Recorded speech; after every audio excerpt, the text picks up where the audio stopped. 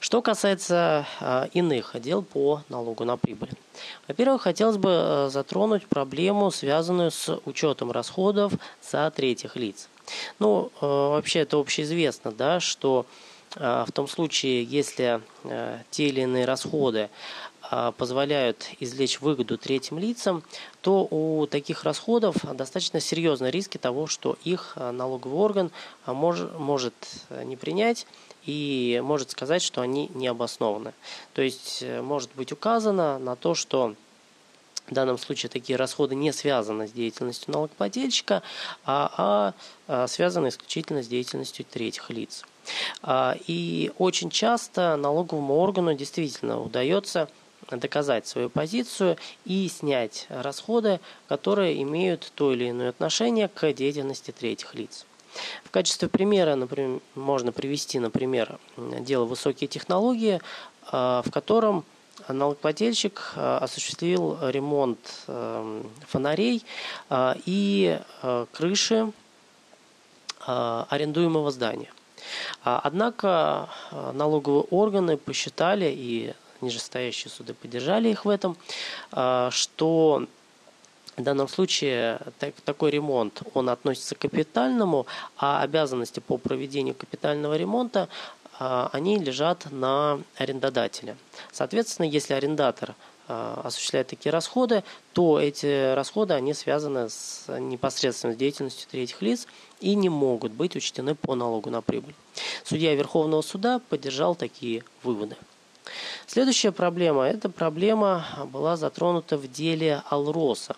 В данном случае э, компания, налогоплательщик, э, осуществлял расходы по содержанию э, жилья муниципалитета. И в данном случае опять суды указали на то, что эти расходы непосредственно не связаны с деятельностью, с деятельностью налогоплательщика. Третий негативный исход, точнее негативный пример – такого рода дел. А, в деле Архангельск а, граждан реконструкция. В данном деле рассматривалась ситуация, когда был а, заключен договор строительного подряда, но при этом налогоплательщик также осуществлял деятельность по поиску, по поиску долевых участников на объект строительства. И при этом осуществлял расходы по поиску таких долевых участников.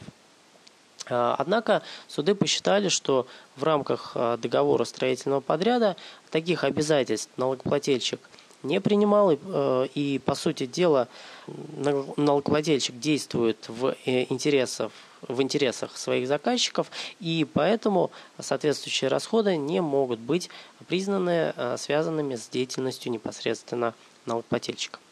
Следует заметить, что такого рода споры, они появляются и в 2019 году, и в качестве примера можно привести дело Лебедянский.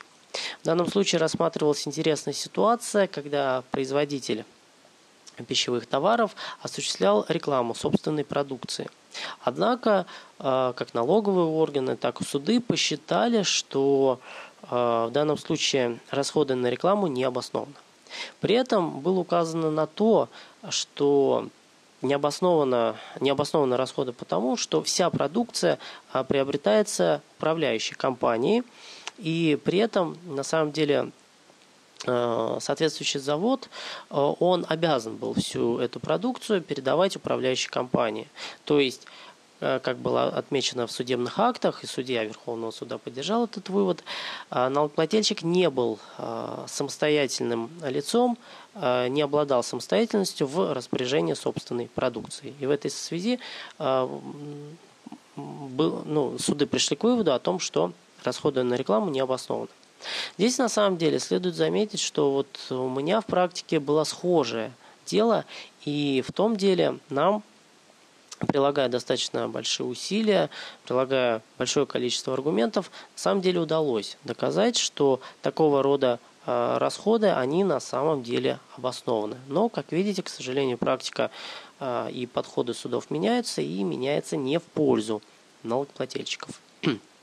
Следующее дело, на которое я бы хотел обратить внимание, это дело, связанное с обложением э, процентов э, по займу в том случае, если займ выдается сельхозпроизводителям. Дело в том, что в главе 25 налогового кодекса предусмотрен, предусмотрена нулевая ставка в отношении прибыли сельхозпроизводителей – однако возникая, возник вопрос, ко всем ли доходам применяется эта нулевая ставка.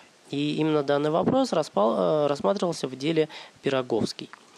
А, и суды, э, в том числе судья Верховного суда, пришли к выводу, что нулевая ставка, льготная ставка распространяется э, лишь на ту часть прибыли, которая непосредственно связана с сельскохозяйственной деятельностью налогоплательщика. В том случае, если такой связи нет, то и облагаться э, соответствующие доходы, соответствующая прибыль должна в общеустановленном порядке. В данном случае суды признали, что проценты по займу не связаны с сельхоздеятельностью, с сельхозпроизводством, ну и поэтому Такие доходы должны облагаться в общеустановленном порядке, к ним должна применяться общая ставка.